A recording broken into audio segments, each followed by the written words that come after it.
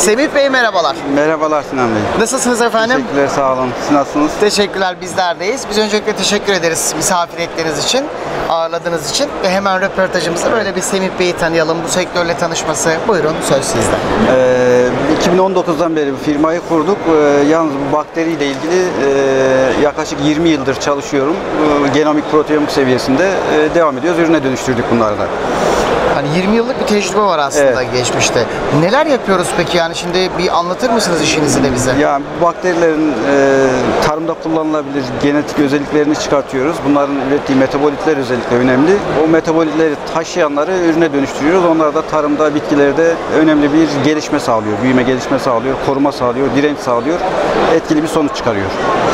Biraz arz talep meselesi aslında işiniz. E, arz talep e, aynı zamanda da e, bitkilerin üzerindeki verim artışı, koruması, e, güzel ürünler olmaları. Evet. Peki hizmet verirken dikkat ettiğiniz hususlar nelerdir Semih Bey? Ee, özellikle bakterilerin kalitesi. Yani bakterilerin çok çeşidi var. Bunların e, tarımda kullanılabilecek düzeyde olanlarını özellikle seçip, geliştirip, ürüne dönüştürüp e, araziye çıkartıyoruz, çiftçilere çıkartıyoruz. Bu önemli kısmı.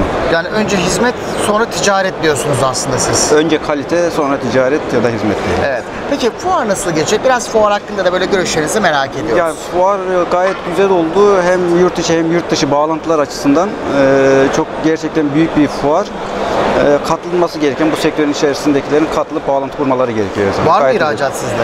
Ee, ihracat bağlantılarını yapacağız, kuruyoruz. Ee, konuşmalarımız oldu. Tabii ki olacak. Birinci hedefimiz o zaten. Tamamen aslında yurt dışına e, açılmak diyebiliriz. Evet. Peki e, irili ufaklı firmalar var. Tek Evet. değilsiniz.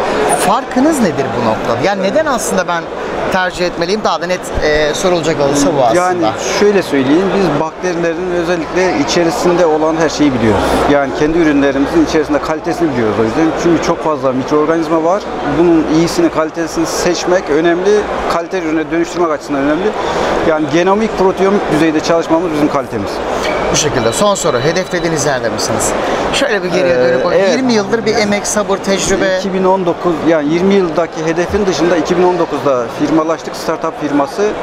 Ee, kurduğumuz hedeflere bir bir ulaştık. Ee, diyelim ki birinci yıl 10 ton, ikinci yıl 20 ton, üçüncü yıl 50 ton üretim gibi hepsine ulaştık şu ana kadar. Tabii hiç bitmeyecek bu hedef. Ee, tabii ki devam edecek Biz ihracat. bu yolda başarılar dilerim sizlere. Ekran başındaki izleyicilerimizi de buraya davet edelim. Gelsinler, görsünler.